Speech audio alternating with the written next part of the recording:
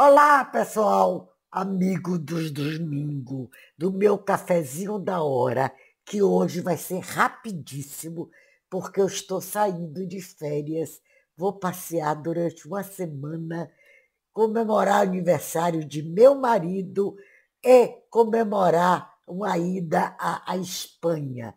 Estou louca para chegar lá. Estudei lá durante algum tempo e estou com muita saudade de lá. Então, estou falando com vocês apenas para dizer a vocês que domingo que vem eu estarei aqui para mostrar a vocês como eu trato da minha casa. Tudo que eu boto nela, a vela acesa. Não vou contar, não. Vou deixar para a próxima semana. É o seguinte, e vou entregar minha casa hoje, na hora de ir embora, a esta pimenteira que aí está.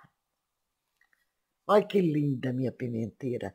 Ela que vai ficar na porta da minha casa, tomando conta de tudo aqui dentro, porque para mim é o meu paraíso. Uma das coisas que eu mais adoro no mundo é a minha casa. E essa pimentinha, pimentona, vai tomar conta dela enquanto eu estiver fora. Gente, tomando um cafezinho,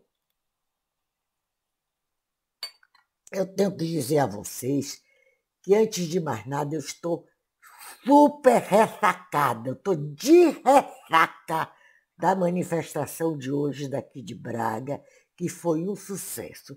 Até boneco do capiroto teve.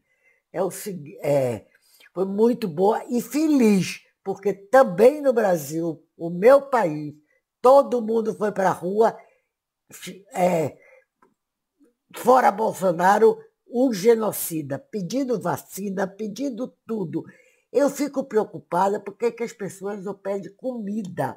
Porque o problema é o seguinte, a miséria nesse momento no Brasil deve estar superando tudo que a gente já viu até hoje, principalmente no Nordeste. Então, gente, é, a ressaca vai ser uma viagem gostosa. Estou indo totalmente despreocupada da vida, não quero nem saber. Aliás, para falar a verdade, já tranquei desde ontem a, a minha cozinha para nem água beber.